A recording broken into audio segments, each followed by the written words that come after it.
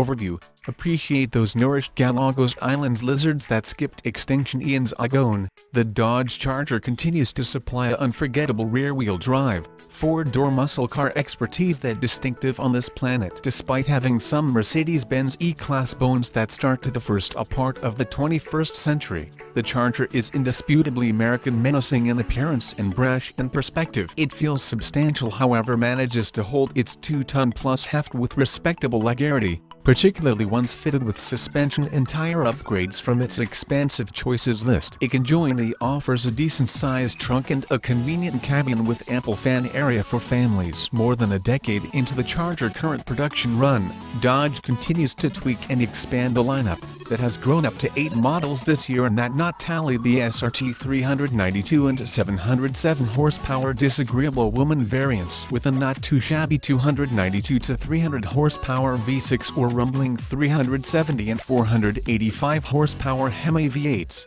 a Satni 8-speed automatic, one in all the simplest pick systems around, and an oversized ensemble of choice and trim packages providing all manner of scoops, spoilers, wheel styles, and paint schemes. The Charger presents quite some intriguing ways in which to celebrate Throwback Weekday while not processing your budget. What new? All 2018 Charger models get a typical backup camera and rear parking assist, like what I did in 2017 with a competitor, Dodge has renamed the SXT V6 all-wheel drive model the Charger GT AWD, that rolls into 2018 with a 300 HP 3.6-liter V6, 19-inch L wheels, gloss black exterior trim, and also the Dodge Performance pages accessed via the Uconnect 8 4-pick system.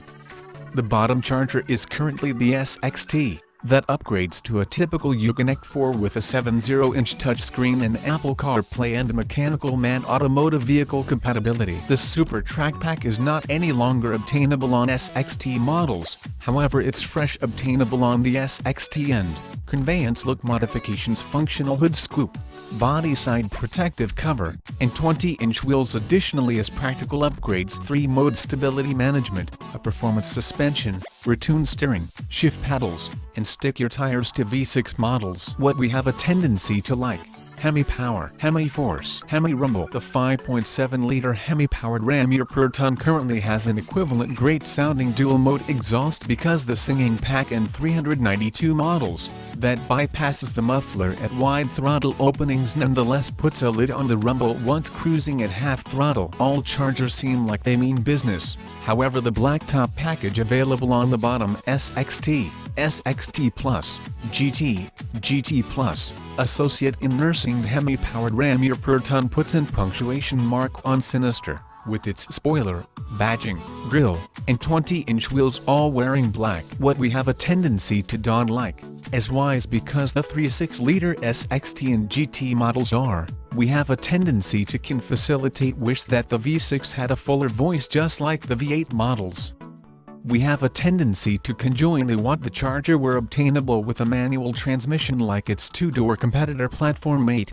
however the quality 8-speed automatic a minimum of offers credible manual gear choice with wheel-mounted paddles or a faucet of the shifter. The Charger is pretty sure-footed for a heavyweight, however losing 1 or 200 pounds WOULD and hurt its road manners one bit.